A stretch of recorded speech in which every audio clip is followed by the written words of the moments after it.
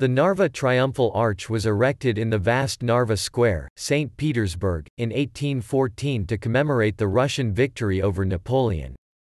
The wooden structure was constructed on the Narva Highway with the purpose of greeting the soldiers who were returning from abroad after their victory over Napoleon. The architect of the original Narva Arch was Giacomo Quarenghi. The program was meant to respond to the Arc de Triomphe du Carrousel in Paris, originally erected to celebrate Napoleon's victory over the Allies at Austerlitz, but the material used was a weather-resistant plaster that was never intended to be permanent. Between 1827 and 1834 Vasily Stasov redesigned and rebuilt the gate in stone. A similar gate, also by Stasov, was erected on the road leading to Moscow.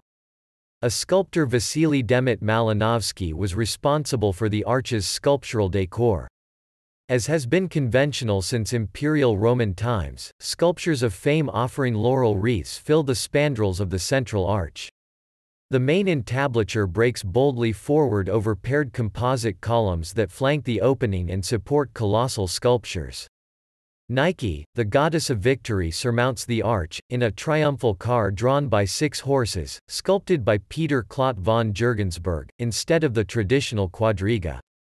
Neither the arch nor the Russian Admiralty were protected from artillery bombardments during the siege of Leningrad.